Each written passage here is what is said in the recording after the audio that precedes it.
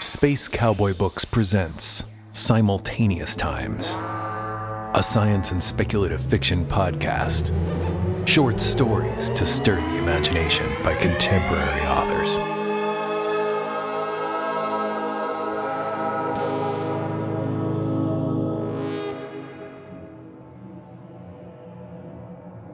Welcome to the five year anniversary episode of Simultaneous Times podcast. To celebrate, we've teamed up with editor Eric Fomley to bring you stories from the pages of Shacklebound books.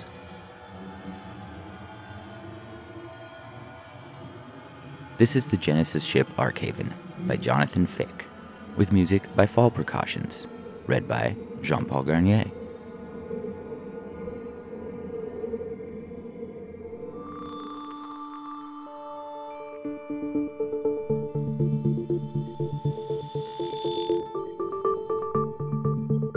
This is the Genesis ship, Arkhaven.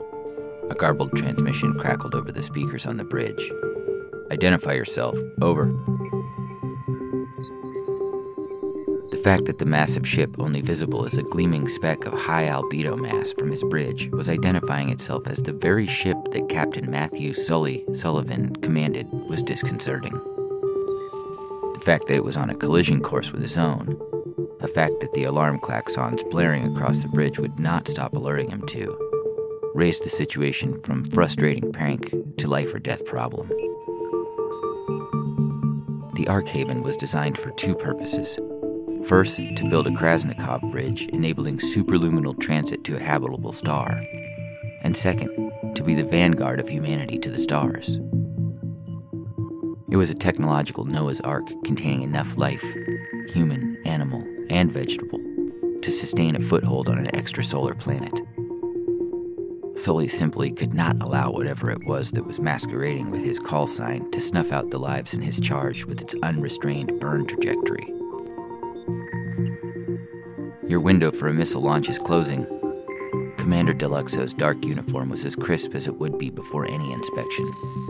Unlike some attached to the Arkhaven mission who coped with the certainty of never returning to Earth with minute lapses in discipline, Deluxo never flagged with even the tiniest details. We need to launch, or we need to leave. Are we ready to leave? Is the cargo secure? The Krasnikov engine primed? Every last embryo, Deluxo said, his fingers drumming against a digital timer counting down the time until the calculations suggested a missile strike would merely create a cloud of debris that would destroy the Arkhaven in a rain of small impacts rather than a single catastrophic one. The engine is lacking its final test, but every simulation agrees that it's ready. Open a channel. Sully waited for the telltale click in his earpiece that denoted an open frequency. This is the Genesis ship, Arkhaven. Identify yourself. Over. Captain? Deluxo rose from his console, took his place by Sully's side. That's us. Though the shining speck grew larger with every second, Sully looked from the viewport to the screen where Deluxo was pointing in an optical scan. The ship on a hard burn for them was identical to the Arkhaven. Sweat beaded on Deluxo's brow and his lip trembled. Captain, the timer. We need to launch now. Sully lifted his fingers to tent them over his mouth. How could the ship on his scan be the ship on which he stood? He needed to protect the Arkhaven, and it took only one simple word and a missile to do so. All it would cost was. what exactly? Seven million human lives frozen and waiting to be incubated to take their place, ensuring the lifeboat of human civilization? Were those lives even still aboard the Phantom bearing down on them? How was any of this even possible? Captain, we need your orders. He couldn't do it. If there was even a chance that the Phantom Arkhaven was real and contained the same cargo as was in the one beneath his feet, he could no more destroy it than he could allow it to destroy him. The timer on the screen ticked ever closer to zero, and the speck of light grew larger and larger as it loomed toward them. Prime the Krasnikov engine. But what if. Ten seconds. Engage it, Sully said. Five seconds. The order rippled across the bridge. A warning blared through the vessel and commanded all hands to prepare for an interstellar transit like nothing any human had ever attempted. The Arkhaven shuddered as fusion reactors shunted all available energy to the torus in the center of the craft that would tunnel through space time and allow them to attain superluminal speed. It's finally happening, Deluxo breathed. What do you think we'll see as we slip the bonds of time? One second. The timer froze. The bulkheads flexed and whined under the strain of the Krasnikov engine, and the false Arkhaven receded. Sully exhaled. His fingers slipped from where he had clasped them together, sweaty, trembling. The strain of the near collision echoed through his body.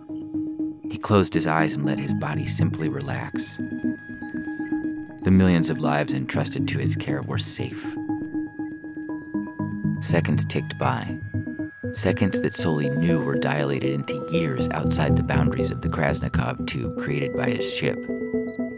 When he opened his eyes, he wondered how long it had been in real time since their narrow escape. What the hell is that? Deluxo asked. That's the destination star? It can't have intelligent life. We've spent decades studying it. Why would something appear now? Sully snapped his eyes to his XO, triggered as much by the gravity implied by the typically proper Deluxo's minor profanity as anything else. Interference from the exotic matter churning in the Krasnikov engine radiated in chaotic waves and made the ship's sensors dance and scream. But a single stable signature read out amid the noise unmistakably artificial and directly in their path. And why is it so recognizably human? A pit formed in Sully's stomach as he opened a radio channel and spoke into the distortion of space time that surrounded the ship. This is the Genesis ship Arkhaven. Identify yourself. Over. He closed the channel and awaited the reply.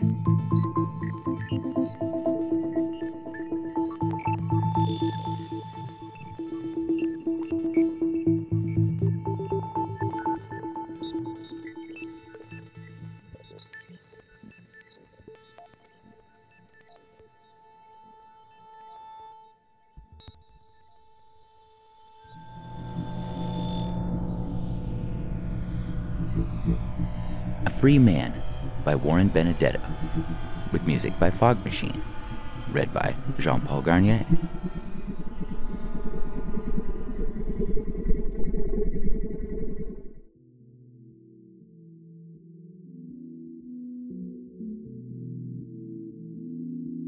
The light from the SynthTech fab unit cast an eerie green glow on Victor's face as he peered through the glass at the synthetic woman being assembled before his eyes. The android silicone skin faded from milky white to medium brown as chromatic polymers adjusted to match the skin tone configured on the fab unit's touchscreen. Subdermal actuators adjusted the structure of the synthetic's face, raising its cheekbones, reshaping its eyes, slimming its jaw while semi fluid silicone fillers plumped the lips and rounded the chin. The legs and arms lengthened, the hips widened. A pair of small breasts swelled under the synthetic's bodysuit. Victor turned away from the fab unit, then paused. Sitting on a bench behind him was a well dressed man with a matte black smart sleeve fastened around one forearm. A hollow stream of a news report projected from his smart sleeve into the air in front of him showing a drone's eye view of yesterday's jailbreak at Rancor Island Prison. The fleeing prisoners looked like scattering insects as they fanned out from a breach in the prison wall. The man noticed Victor looking at him. He dismissed the hollow stream, then plucked a small earbud from his ear. Yes? He seemed annoyed by the interruption. Oh, sorry, Victor said. I was just wondering about this one. He indicated the synthetic in the fab unit behind him. Is she a replica or an original? The man looked around with faux confused expression. Do I look like I work here? No, I thought. She's not yours? Nope, mine's over there. He gestured at a smaller fab unit down the line. Inside, a preteen boy was being fabricated. The synthetic bore a passing resemblance to the man. Same curly auburn hair, same deep set blue eyes, same thin lips. For the wife, the man clarified. Ah, my bad. Victor wandered down the line of fab units to take a closer look at the boy. Cute kid. Have a name yet? He did. The man sniffed, then looked down at his hands. Tommy. Victor winced a little. He should have known the boy was a replica. Why else would someone choose to fabricate a child, if not to replace one they had lost? Sorry. It's okay. It was a few years ago. The man stood and walked over to the fab unit. He smiled sadly as he gazed at the boy's face. He would have been 10 this week. You aging him up? Yeah. Can't keep him young forever, right? He tapped and swiped on his smart sleeve, bringing up a 3D holoscan of the same boy, the real Tommy, albeit a few years younger. What do you think? He looked at the older version of the boy in the fab unit. Pretty good likeness, right? Definitely, Victor agreed. It was more than just pretty good, it was perfect. Synthetech technology had gotten scarily accurate in the last few years. The company was able to synthesize a perfect replica of any person, living or dead. It was illegal to do the former, though. There were strict laws against creating a synthetic version of anybody who was still alive. The days of identity theft being just a stolen credit card or social security number were long gone. Criminals could now steal a person's actual identity with something as simple as a 3D holoscan of their likeness. Except for a small microdot array at the base of its neck, a synthetic was indistinguishable from an actual human. The man dismissed the hollow stream of his son, then looked down the line of fab units. There were about 50 of them set up along the perimeter of the Synthetech store, all of them busy fabricating new synthetics. Which one's yours? the man asked Victor. None of them yet. Still trying to decide. So many choices, you know? The lie came effortlessly. I can help with that, a voice said from behind. Victor turned to see a Synthetech store associate approaching him.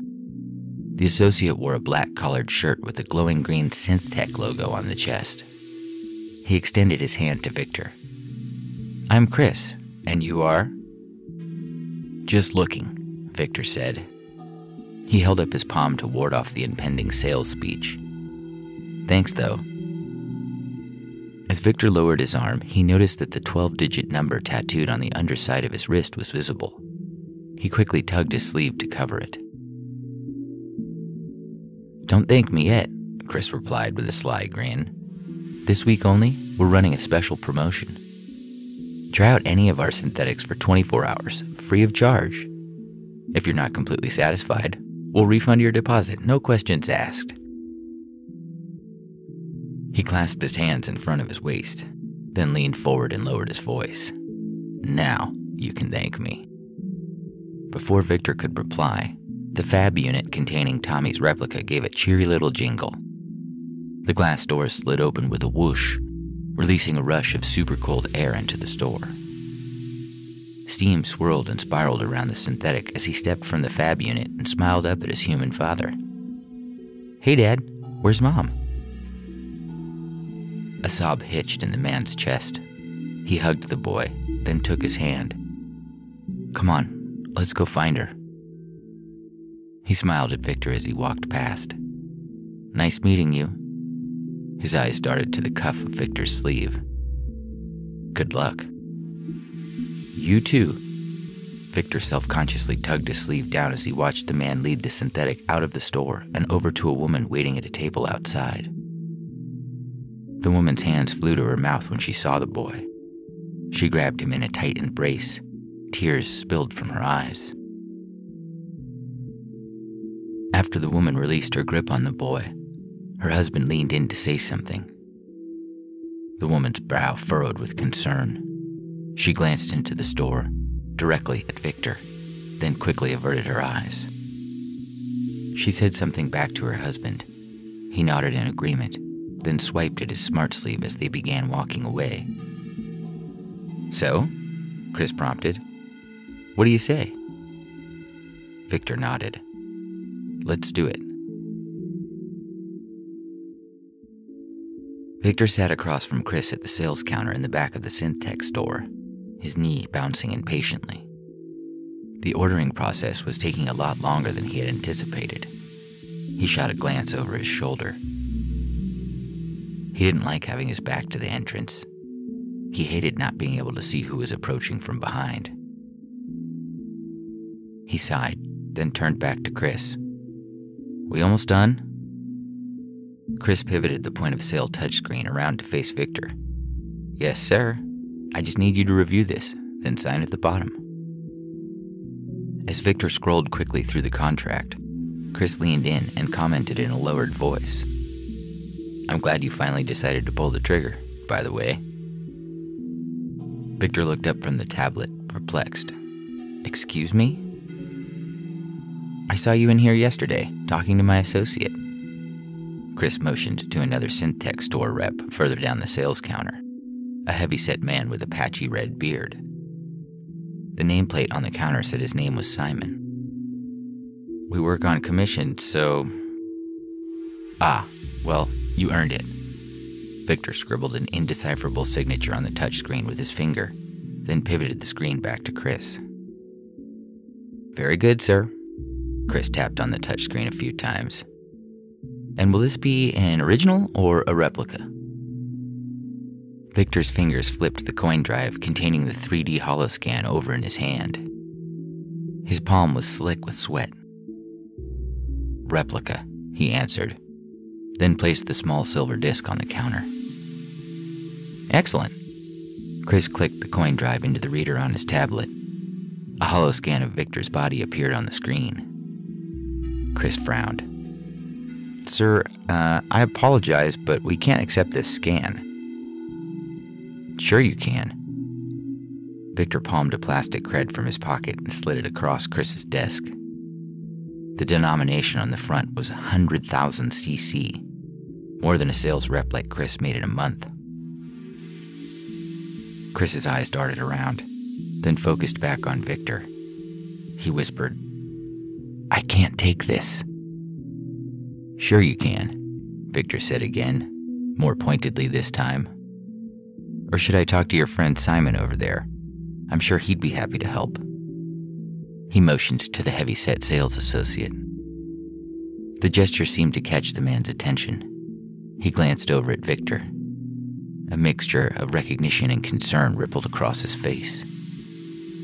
Shit, Victor thought. He hadn't intended for the man to notice him. Simon apologized to his current client, then stood and walked over to Victor. Hello again. Was there a problem with your replica that I can help you with? Victor swallowed hard, then smiled. Nope, everything's fine. Chris looked between Victor and Simon, confused. I don't understand. Did you order. A commotion arose behind Victor, cutting off Chris mid sentence. His eyes shifted past Victor to the front of the store. The color drained from his face. Victor turned to see a dozen black clad police in full tactical gear storming through the glass doors behind him. The cops fanned out in a semicircular formation as they approached the sales desk, their weapons at the ready. Simon raised his hands and backed away. I'm sorry, I, I didn't spend any of it, I swear. Relax, Victor said as he stood and faced the police. They're not here for you. A cacophony of shouting voices ordered Victor to put his hands in the air. Victor complied. One of the cops clamped a cuff around one of Victor's wrist, then bent his arm roughly down and behind his back. As he grabbed the other arm, he checked the 12 digit number tattooed on Victor's wrist. It's him, he shouted. He bent Victor's other wrist down and cuffed it, then leaned in and growled into Victor's ear. Wait till we get you back, boy. We're gonna have a good time. He gave Victor a shove, then grabbed him roughly by the arm and walked him out of the store. Outside, another cop opened the back doors of an armored van parked on the sidewalk. White block letters were stamped on the side Rancor Island. The two officers lifted Victor into the transport. Neither of them seemed to notice the small micro dot array at the base of his neck. The doors slammed shut, leaving Victor alone in the back of the van. He closed his eyes and rested his head against the cool metal interior, cursing himself for starting that conversation with Tommy's father. He hadn't meant to. Seeing the hollow stream about the prison break had frozen him in his tracks. The conversation was just a cover. But then the guy saw the number on Victor's wrist, which made the situation even worse. He must have connected the dots and called the police. How else would they have known Victor was here? Victor regretted not getting to the Syntech store earlier. It took him too long to come up with the plan. Too long to realize that all Syntech needed to fabricate a replica was a holoscan of the original, even if the original was a replica itself. He realized that he could create another replica to take his place, just as the original Victor had created him yesterday. But he had been too casual about it too worried about looking like just another customer instead of ordering the replica. The replica of a replica. The moment he walked into the store. As the transport pulled away from the curb, Victor peered out the narrow window at a crowd of onlookers that had gathered to watch his arrest. His synthetic heart trip hammered in his chest. One of the men in the crowd looked familiar. No, not just familiar, identical. The man gave Victor a nod and mouthed one word sorry. Then he turned and disappeared into the crowd, a free man. In